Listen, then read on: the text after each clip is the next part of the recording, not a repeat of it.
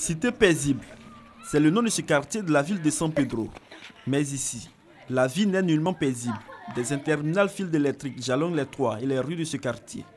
La raison de cette connexion anarchique, le problème de l'électricité.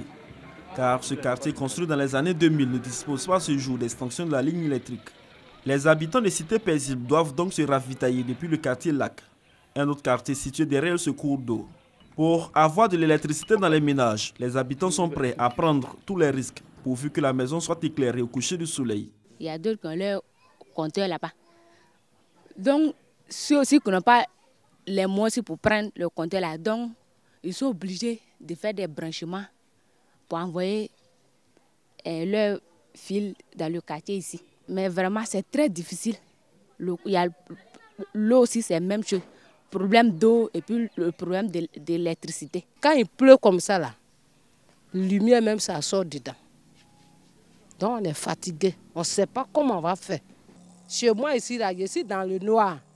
La nuit comme ça, les moustiques, tout, tout, ça me pique. Toutes ces maladies.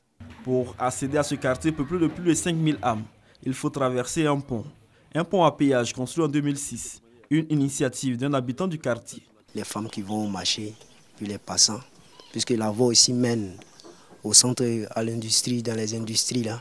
Donc ceux qui habitent sur ce quartier préfèrent passer ici pour aller au travail.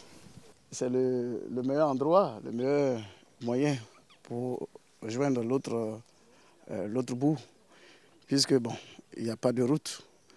La seule voie, c'est de l'autre côté. Hein, de l'autre côté, la seule voie. Or, elle est beaucoup longue. La traversée du pont à péage de San Pedro ne coûte que 25 francs CFA, soit 50 francs l'aller et le retour. Nous faisons des recettes de 10 000 à 12 000 par jour.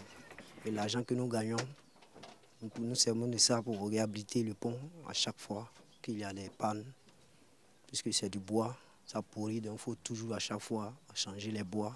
Pour éviter de payer à chaque passage, le concepteur du pont propose un abonnement mensuel de 1000 francs CFA. Bon, les modalités de paiement pour l'abonnement, c'est 1000 francs. Parce que ce n'est pas tout le monde à chaque fois qui va envoyer la petite monnaie. Ils préfèrent payer pour le mois 1000 francs. Ils ont le droit de circuler à n'importe quel moment. Nous avons la liste des abonnés.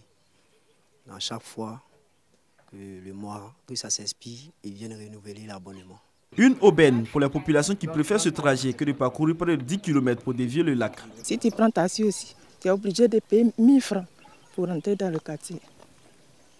Sur le pont, on paye 50 francs, on passe. Les regards des populations sont pour l'instant tournés vers les autorités compétentes pour l'amélioration de leurs conditions de vie. Avec le développement de la cité portuaire, le quartier cité paisible aura certainement toutes les infrastructures modernes pour que la vie ici soit véritablement paisible.